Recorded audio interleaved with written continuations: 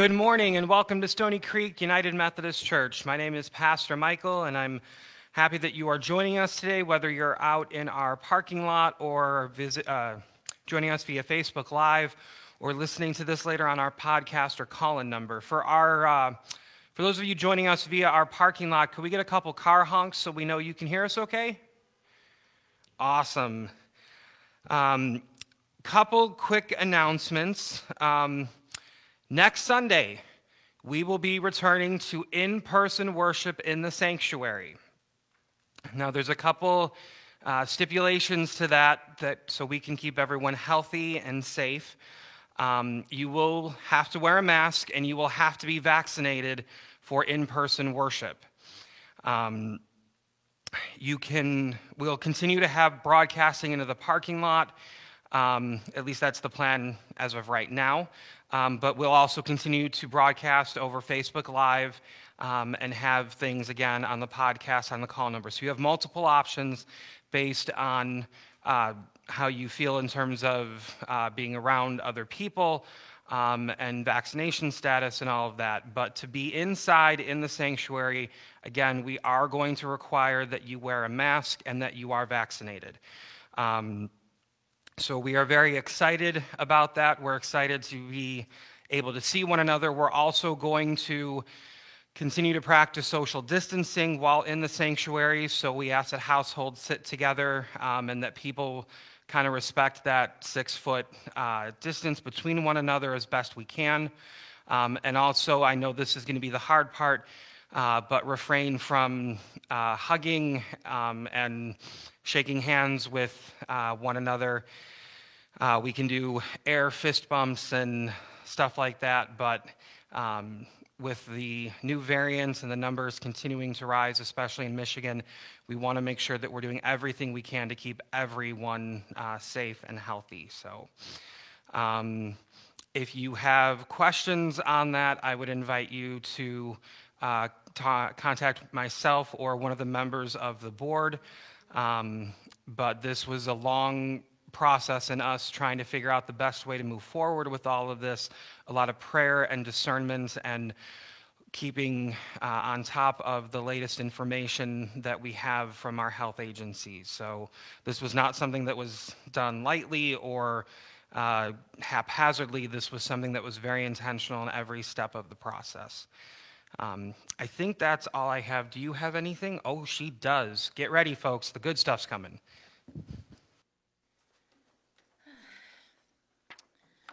Good morning, Stony Creekers. It's Barb McCarwich being your liturgist this morning.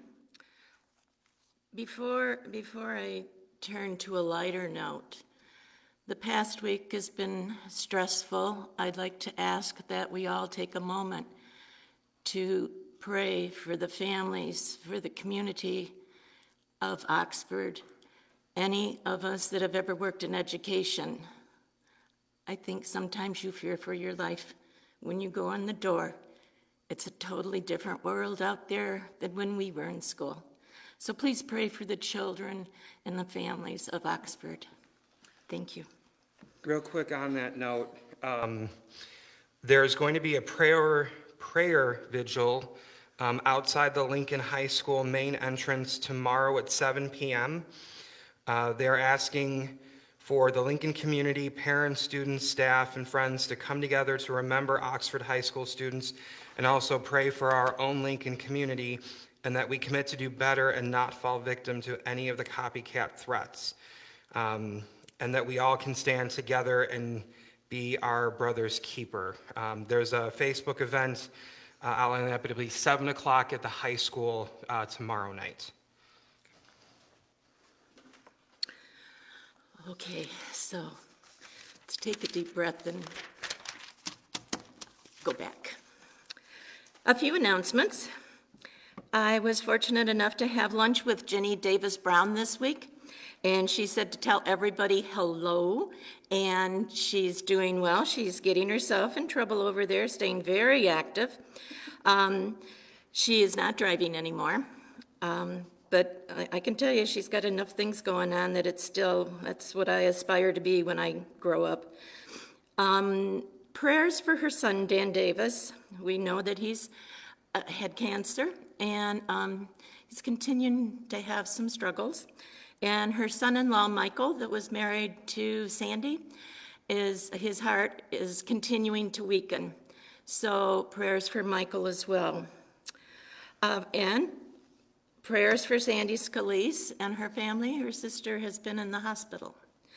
Then, okay, if I could get down on my knees without it looking ugly, uh, and then get back up without that even being more ugly, uh, I would ask if anybody's available on Friday from 2 until 4, if you can even come for a half hour, an hour, whatever. We're going to be in the fellowship hall with children, uh, decorating Christmas cookies, making Christmas ornaments, making a candy cane felt mouse, a few other things. So uh, let's just say it's going to be labor intensive, and we're going to need some adult supervision. And probably for the adults more than anybody. And we hope that you're enjoying Advent in a Bag. I know Connor and Molly have been doing theirs each night, and they've been having a great time. And then I will admit that I am a Hallmark channel fanatic. Love this time of the year. And if any of you get Women's Day, Women's Day, Candace Cameron Bure, one of the frequent stars, is um, very Christian, and she writes an article. And I'd just like to read a little snippet before we enter into our singing. Her verse of the month for December, and it's from the New English Translation. For a child has been born to us, a son has been given to us. He shoulders responsibilities and is called extraordinary, strategist, mighty God, everlasting Father, Prince of Peace. It is in the quiet that we can be filled with the joy of Jesus. This year, let us take a little time for yourself and Jesus. And remember to be the Mary so that you, you can bring the Mary to others. And as we move on, let's do our call to worship. We'll read responsively. God with us, Emmanuel, comes to give us our own holy family. Here with the body of Christ this day. Rejoice and be glad. Amen. Our first hymn is going to be, O come, all ye faithful.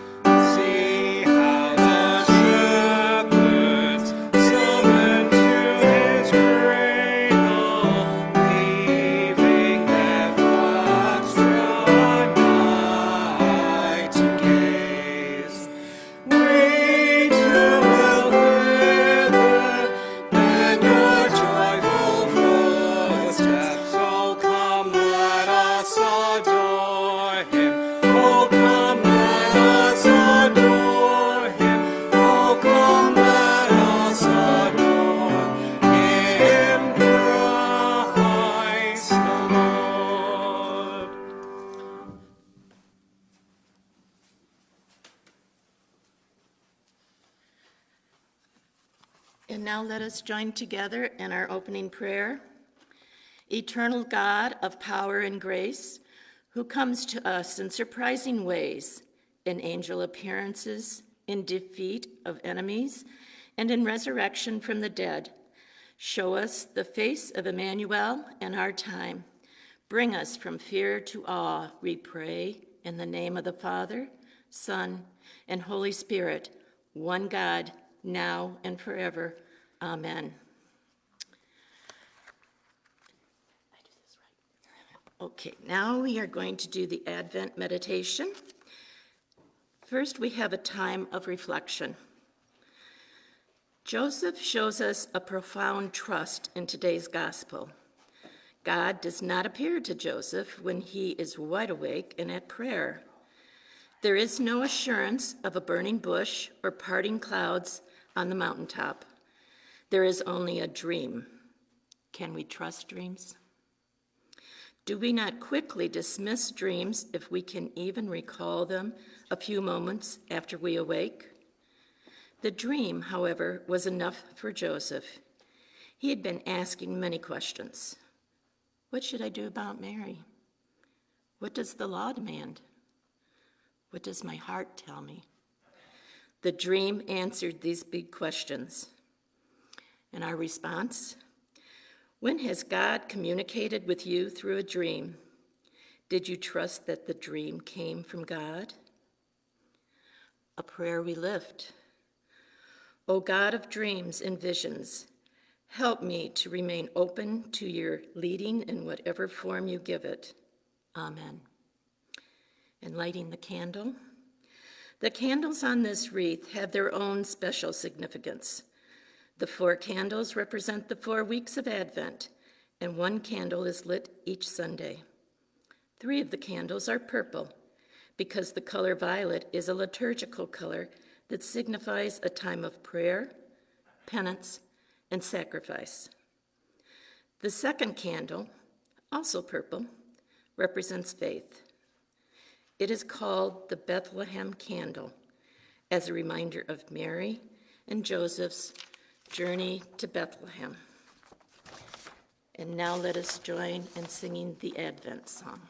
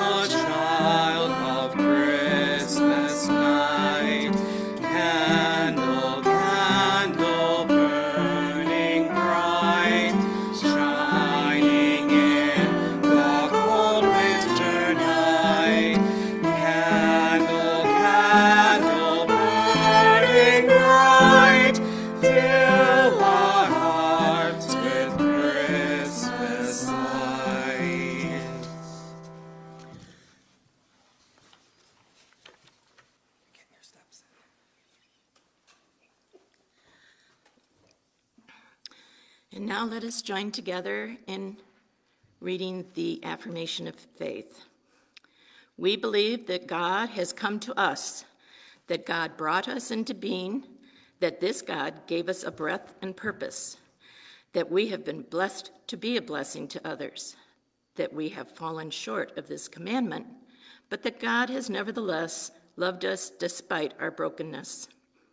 We believe that God is coming to us, that God is not happy to leave us alone, that this God will come to us as a particular human being, that God will be made known to us in flesh and bone like ours, that Mary will soon give birth and Joseph will soon clap his hands in joy, that Jesus Christ will be born and our salvation made complete.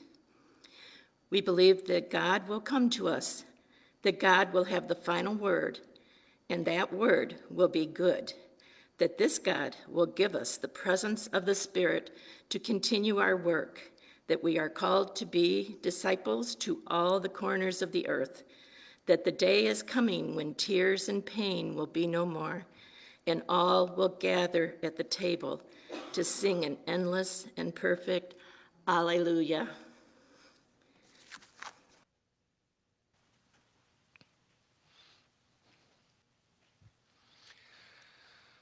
All that we have is the Lord's. All that we may become and receive is in God's hands.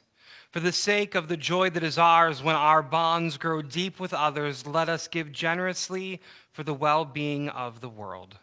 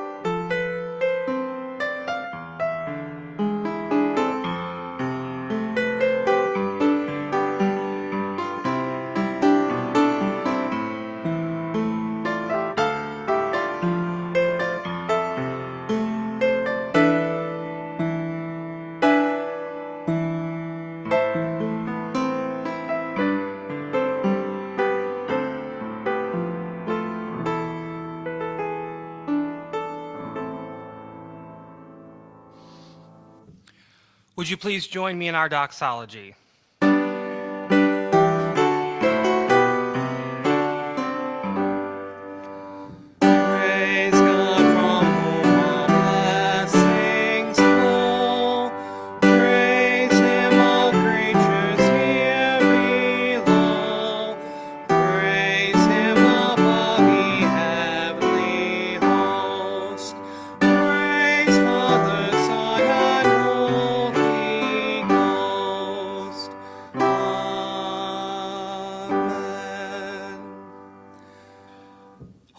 You bless us with many gifts. You retrieve us from despair and fear.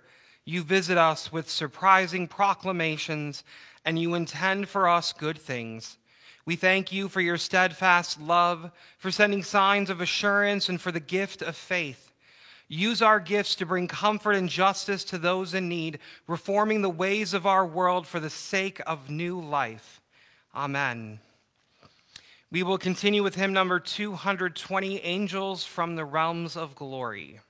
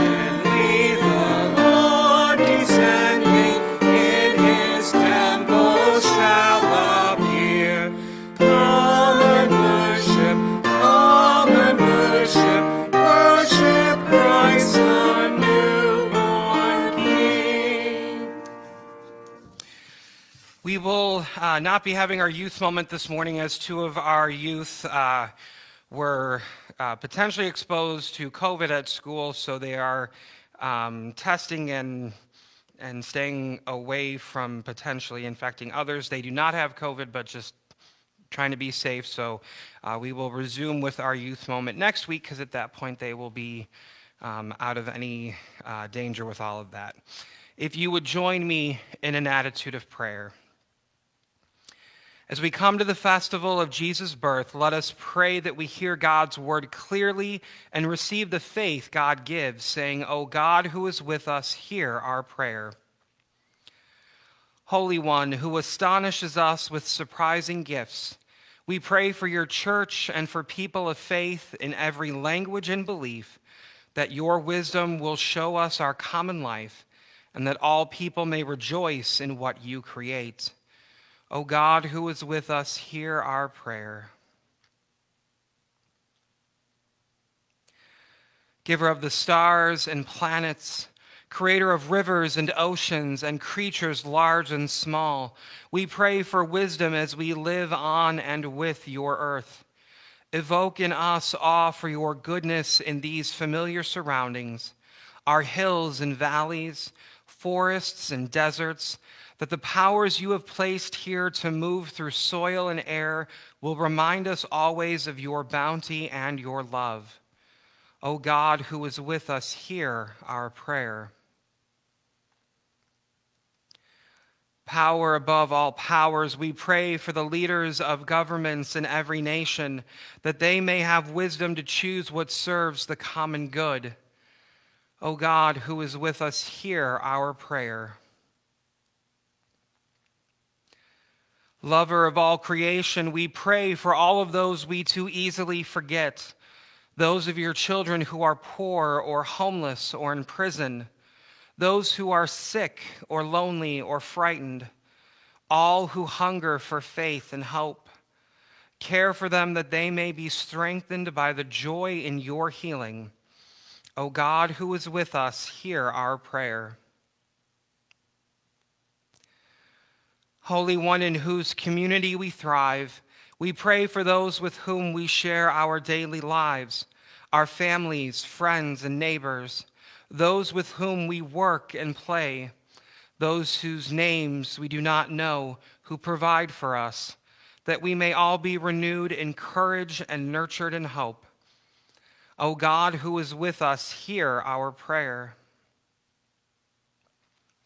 Sustainer of your people, we give you thanks for members of the body of Christ in every age and every place who, by their witness, brings us here today. Come to us in Christ, O God, that we who live in this world by faith may see that faith confirmed in the world to come. Through the risen one who lives and reigns with you in the Holy Spirit, one God, now and forever. Amen. And if you would join me in our prayer for illumination. As your Holy Spirit spoke to Mary, the mother of our Lord, speak to us now through your word, that by hearing we too may receive faith and be strengthened to do your will. Amen.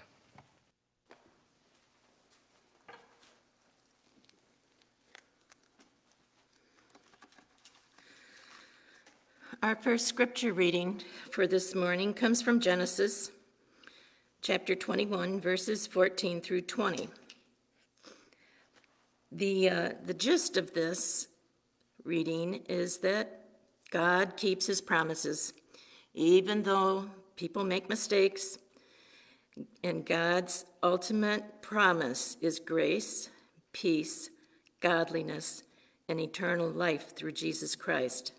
As I was reading this, uh, on different times as I've started studying the Bible more, uh, there's these words that just kind of throw me for a loop, and I go, oh, I wonder what they really mean by that. And in this scripture, they refer to bow shot. So I thought, huh, I'll look it up. And it means the distance to which a bow can send an arrow. Well, it wasn't that simple. So usually, like stones throw away. Yeah, stones throw away. You know, usually you come up with some really whoo, off the wall explanation. And I'm like, oh, well, that was simple. So let us find out about this scripture. So Abraham rose early in the morning and took bread and a skin of water and gave it to Hagar, putting it on her shoulder along with the child, and sent her away.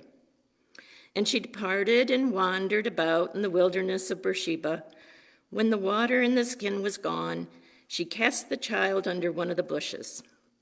Then she went and sat down opposite him, a good way off, about the distance of a bowshot.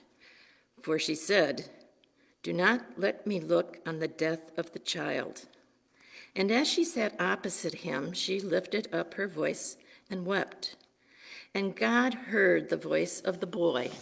And the angel of God called to Hagar from heaven and said to her, What troubles you, Hagar? Do not be afraid, for God has heard the voice of the boy where he is. Come, lift up the boy and hold him fast with your hand, for I will make a great nation of him. Then God opened her eyes, and she saw a well of water. She went and filled the skin with water and gave the boy a drink. God was with the boy, and he grew up. He lived in the wilderness and he became an expert with the bow. The word of God for the people of God. Thanks, Thanks be, to God. God. And now we are going to sing Once in Royal David's City.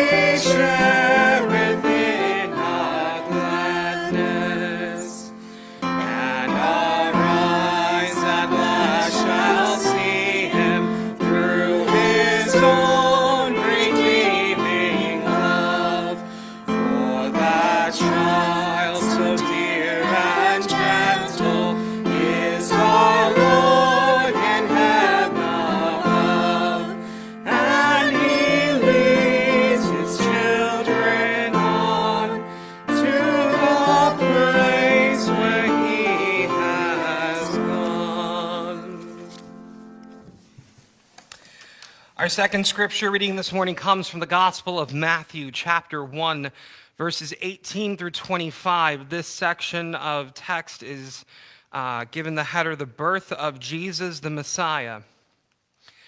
Now, the birth of Jesus the Messiah took place in this way.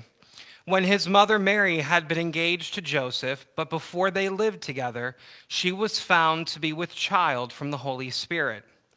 Her husband Joseph, being a righteous man and unwilling to expose her to public disgrace, planned to dismiss her quietly.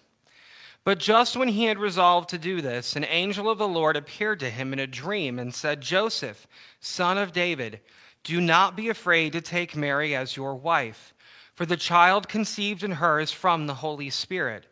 She will bear a son, and you are to name him Jesus, for he will save his people from their sins. All this took place to fulfill what had been spoken by the Lord through the prophet. Look, the virgin shall conceive and bear a son, and they shall name him Emmanuel, which means God is with us. When Joseph awoke from sleep, he did as the angel of the Lord commanded him. He took her as his wife, but had no marital relations with her until she had borne a son, and he named him Jesus. This is the word of God for the people of God. Thanks be to God. If you would join me again in an attitude of prayer. God of the impossible and the miracles, you are all powerful and have no limits. Your love and grace knows no bounds, and you continue to share them with us, regardless of our shortfalls and sins. Help us to build strong faiths faiths that are unshakable and have a foundation in your mercy, love, and grace. Help us to have a trusting faith like Joseph when you bring us good news, no matter how amazing or unfathomable it may seem. And now may the words of my mouth, the meditations of our hearts together in this place, be pleasing in your sight, O God, our rock and our redeemer. Amen. Well, good morning to you all once again. Today, as I mentioned at the beginning of our service, is the second Sunday in Advent. Advent is the season of anticipation and hope as we look forward towards the birth of our Savior, our loving Savior, Jesus Christ. As we enter our second week of our sermon series, Angels with a Message, I just wanted to remind everyone of some of what we talked about last week and also get anyone who may have missed last week caught up with with where we are. Last week was a message of hope, and we followed the story of Zachariah and Elizabeth as they are told about the son that they would have. Their soon to be son, John the Baptist, was going to be looked upon with favor by the Lord. He was going to turn the people back to God. He was going to help the people prepare themselves for the coming of the Messiah it was a message of hope for many people and in many ways, and still is today. And of course, given the title of our series, it was a message brought by an angel, specifically mentioned in our reading to be the angel Gabriel. Angels are the ones who open one of the critical doorways for us into the vision of Advent. The scriptures surrounding the time that we label as Advent are actually the largest concentration of angels anywhere in Scripture. And these angels, they bring different messages to various peoples, along with their actions of rebuking, encouraging, guiding, protecting, advising, and worshiping. So, from the rigid priest, also known as Zechariah, to a baffled young virgin, Mary, whom we will see soon, to a strict fiance, one carpenter named Joseph, who we're going to focus on today, to common shepherds out in the field at night, and several others, they were all met with messages by angels. The impact on each of these people was profoundly life changing in, in so many different ways. We must again ask ourselves if each of these people could be led to see the incarnation through the angel's eyes, are we then also not invited to do the same? You know, people will often talk about needing to just have enough faith to get through a tough situation, or maybe to believe enough that God will deliver the desired outcome to a situation that they face and have no control or influence in. And I've witnessed and heard these things mostly around uh, medical issues when someone seems to be facing a certain end to their own life or the life of a loved one. And, and they are told to, or in their or on their own tell themselves to work hard to have faith and believe that everything will work out for the best. And this is often, if not always, easier said than done, especially when it involves the life of someone we love. If you yourself or someone you know has ever gone through the agony of watching someone you love fight the battle against cancer or another life threatening illness, you know exactly what I mean. Yes, we, we want to fully put our faith in the doctors and the medical professionals and, of course, God to help heal the ones we love. But it can be very challenging to simply sit back and feel helpless to do anything for someone who means so much to us and holds such an important place in our lives and in our hearts. There are other places in life, though, we, we may find a struggle, maybe to hold tightly to and trust our faith in something. As someone who grew up just outside the city of Chicago, I had just about given up any faith that the Cubs would win a World Series in my lifetime or ever again. And yet, it happened. And the world didn't end or anything. Most of us were pretty sure that was going to be the sign of the apocalypse, to be honest. No earthquake, no catastrophic storm, and, and laugh all you want, but I know the Lions fans who are listening can understand this feeling. When we look at Zachariah and Elizabeth's story from last week, we see this issue of faith in Zachariah's initial response to the angel Gabriel that cost him his ability to speak until John was born. And while I find it kind of funny that, yes, Zachariah is punished, if you will, or whatever you want to call it, that he's not able to speak, that label doesn't seem to follow him where Thomas, later on in the Gospels, gets the label of doubting Thomas for all eternity.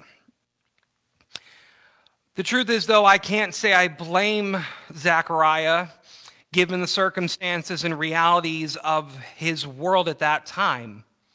How old he and Elizabeth were, that they had tried before but never been able to have a child, and so on. But nonetheless, Zechariah had a moment of loss or struggle in his faith to believe what Gabriel was telling him about having a child. what about in our reading from Matthew's gospel for today?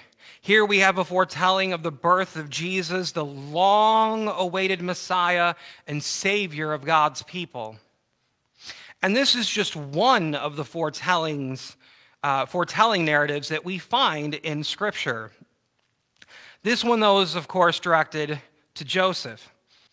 And the announcement itself carries all kinds of themes and miracles and much more.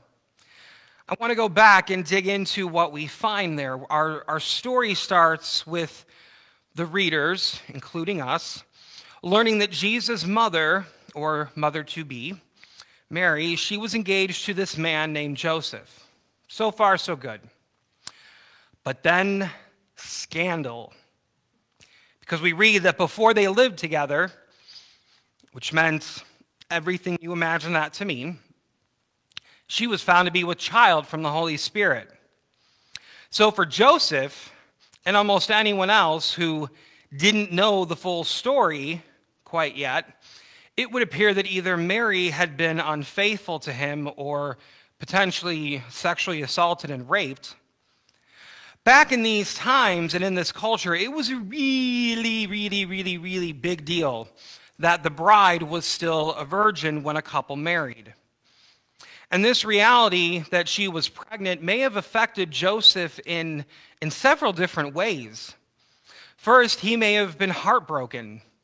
We don't know really much of anything about the relationship between Mary and Joseph, and if he maybe had romantic feelings for her.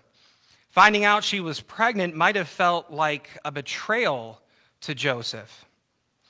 Although not every marriage back then had much of anything to do with romantic love, this marriage could have been primarily a business transaction, if you will, as horrible as that sounds. And Joseph may have just felt like he was getting scammed. The truth is, we know practically nothing about Joseph or his feelings in this situation. All we are really told is that he was a righteous man, and because of that, he did not want to publicly disgrace Mary, but he would instead end the engagement quietly or privately. Again, we don't know if this was because he loved her enough that he didn't want to ruin her life or put her life at risk if it was simply ending a business deal that did not prove to be worth it anymore or something else. We get no real insight into how Joseph feels about anything, which does make sense in that the gospel writers may have never asked or had anyone share that with them. Joseph may have never shared what his feelings were with anyone. After the little bit we do get of Jesus' birth and childhood, Joseph is really never mentioned again. He just kind of drops off the radar.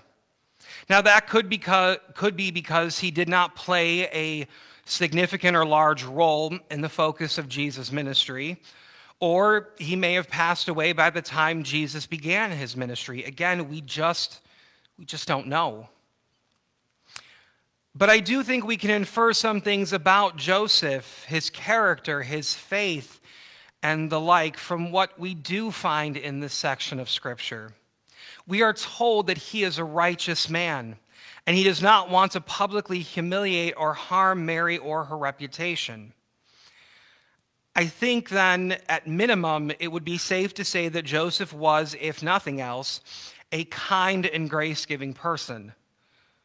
But then the real fun starts because we learn that an angel of the Lord appears to him in a dream. Now, in this scripture passage, we are not told the angel's name. I spent the time to check many resources and writings of other biblical scholars. And while there are some assumptions made by some people, the truth is we do not have any definite evidence of which angel visited him in his dream. I will say that one of the assumptions that several biblical scholars agree on is that it very well could have been Gabriel, especially given how many other times Gabriel is specifically mentioned in this time frame, sharing essentially the same message with other people. Others argue, though, that if it was in fact Gabriel, why would we have not been told that as we are told when it is Gabriel in other places, which then is evidence that in this case it couldn't have been Gabriel. And if you followed that, A plus for you. Either way, an angel of the Lord comes to Joseph in a dream and instructs him not to end the engagement, not divorce Mary, and instead care for her raise Jesus, and so on. And Joseph does just that. Verse 24 and 25 say, When Joseph awoke from sleep, he did as the angel of the Lord commanded him. He took her as his wife, but had no marital relations with her until she had borne a son, and he named him Jesus. Now, again, we get no insight on how Joseph is feeling about any of this, just simply that he complies with the instructions given to him. But to do even that, I truly believe it says a lot about Joseph's faith and the faith the angel may have brought to him. To be able to simply let go of the concerns and the issues that his society would raise in a situation where a husband to be found out that his wife to be was already pregnant and instead continue on as if nothing was amiss, that required faith. And it required faith in what that angel said and all of what would come to fruition. We have to remember that God's people had been waiting what seemed like an eternity for this promised Messiah. And now, all of a sudden, the Messiah is coming, and it's coming to Joseph. Joseph wasn't a ruler.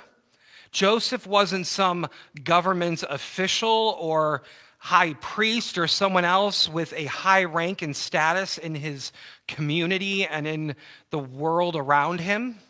He was a carpenter. And while there's great debate about whether or not Joseph and his family were poor or middle class or wherever we would put them in the hierarchy, he still didn't hold any real place of high authority or privilege in his community and country. Why would the Messiah come to be born from the woman he was to marry? Why not enter into the world with a family of power, a king or a governor or a military leader or, or someone of great fame and fortune and influence? Why choose Joseph and Mary? Was it simply because Joseph was a righteous man and God knew that he would listen to the angel and that he would follow those instructions and he would care for Mary and Jesus and be a father and a husband and a provider? Was it simply because Joseph came from the line of David and that was an important part of Jesus' identity and legitimacy as the Messiah and Savior?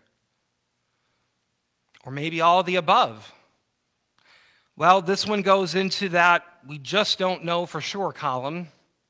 But I do think that Joseph's faith and trust in God had to have played a role. Joseph had free will, just like all of us do. He could have reacted in countless different ways. But he followed what God asked. He did his part in this greater plan. And I can only say that his faith had to have been a huge part of that.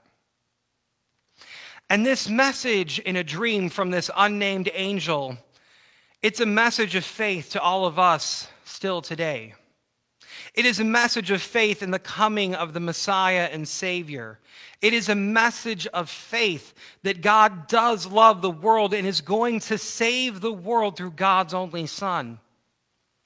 It is an example of what can happen when we have faith, when we hold on to dear life, and we see God's hands at work in the world. We are told that Joseph was a righteous man, but I also believe he was a faithful one too. Amen. If you would please turn to pages 15 and 16 in your hymnals or on the uh, continuing in the bulletin for those of you with the printed versions as we prepare to celebrate Holy Communion.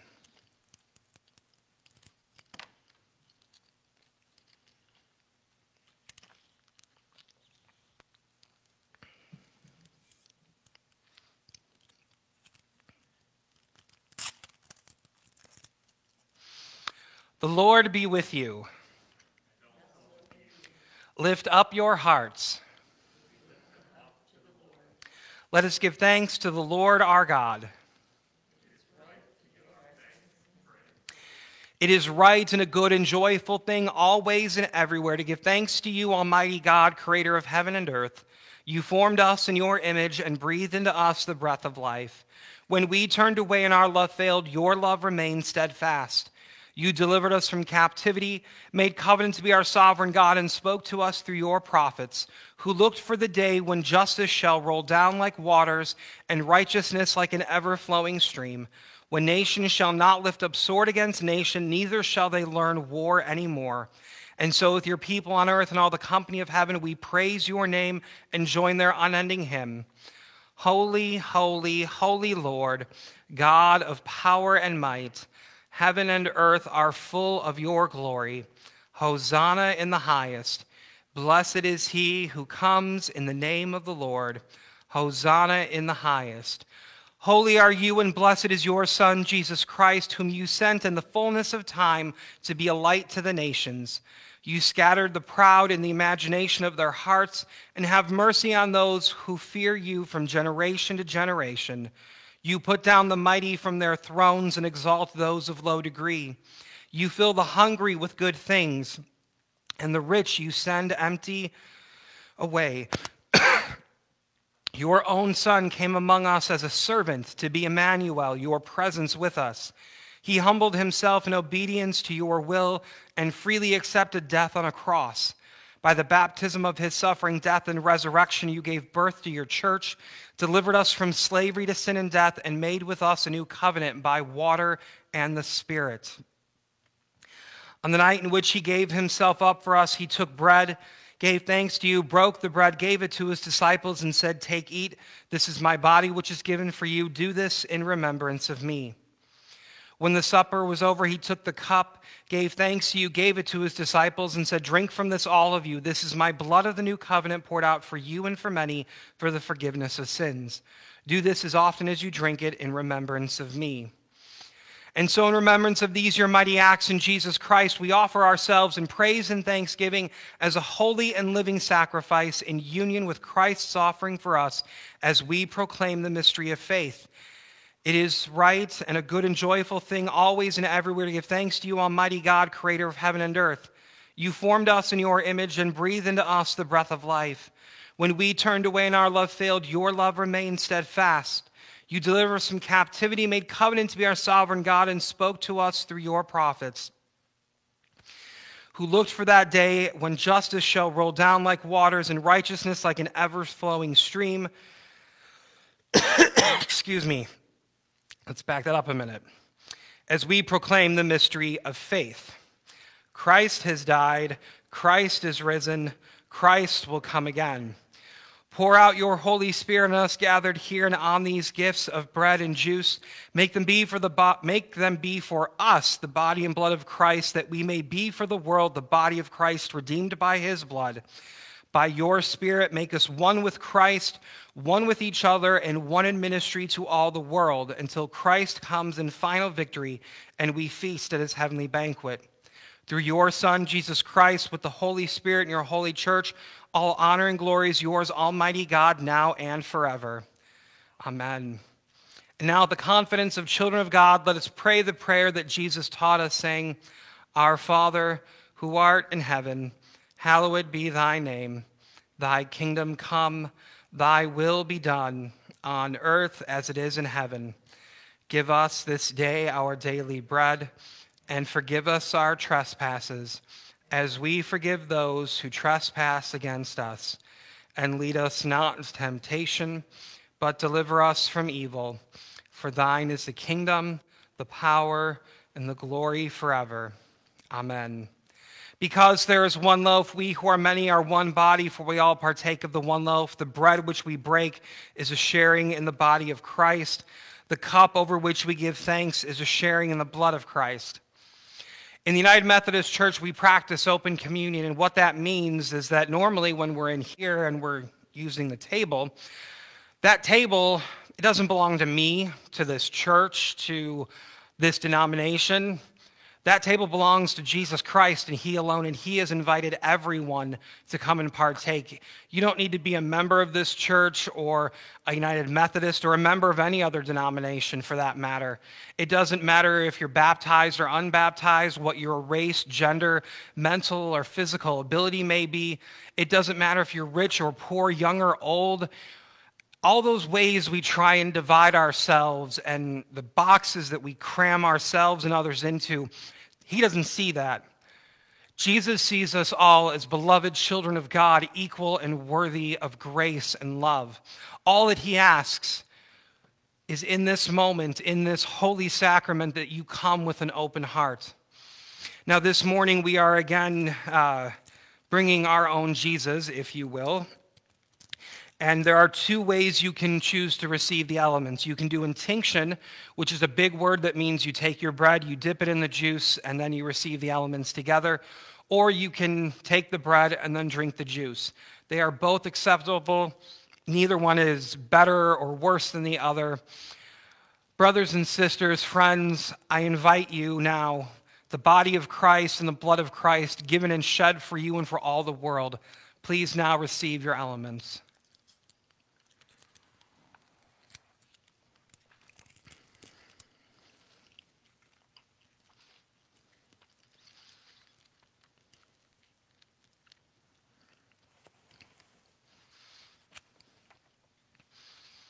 Eternal God, we give you thanks for this holy mystery in which you have given yourself to us.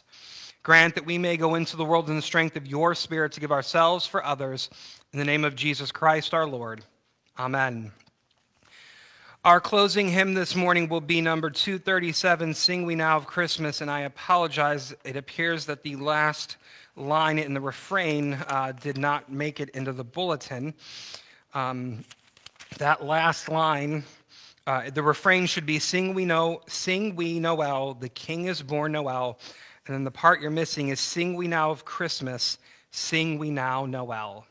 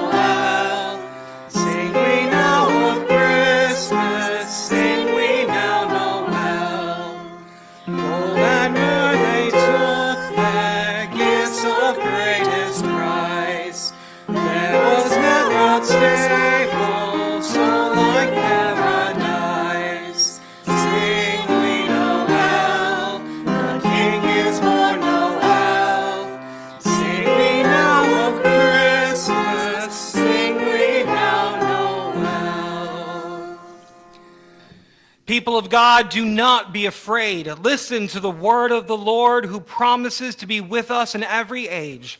Spread this word to those who live without hope. Live this word as people who know God with us, Emmanuel. Now let the face of God shine upon you to bless you and save you from all doubt and danger through Jesus Christ now and always. Amen.